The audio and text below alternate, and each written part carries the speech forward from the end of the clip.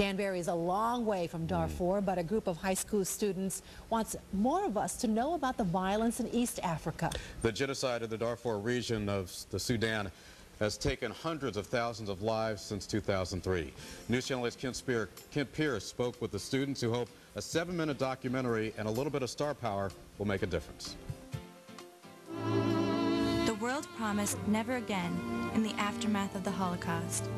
The documentary is called The Promise. A group of Danbury High School students made it to show that 60 years after the Holocaust, there is another genocide underway. I can't believe that there's a genocide going on right now and people don't know. Nothing's really been being done to stop it. That's why they put together this combination of photos, quotes, and their own observations about the crisis in the Darfur region of Sudan. They now travel around showing their documentary to other schools. It's really great when you have people coming up after you, after the presentations to ask you how they can get involved and it just kind of, it justifies all of our efforts. The documentary even got the attention of State Treasurer Denise Nappier. She asked for a copy of it, and once she saw it, she made a decision that affected the whole state. Two weeks later, they called to let us know that the state of Connecticut was going to plan to divest all funds from companies that do business in Sudan, and that our video um, spurned a lot of that action. Tim Salem and his students have some other high-profile fans as well.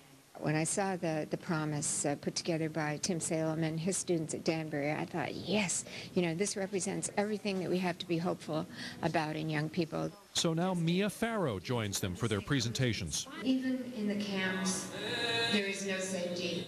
Where she talks about her many trips to Darfur. The Danbury students haven't been there, but it has captured their hearts. They looked at this, they saw there was a tragedy happening, and instead of just shaking their head and saying, wow, that's so sad, and walking away, they decided to do something about it. By stirring other hearts to help out too. I'm Kent Pierce, News Channel 8. Some exceptional young people there, and next month those students will travel to Michigan. They will give their presentation alongside the hotel manager who saved hundreds from the violence in Rwanda during the genocide in 1994.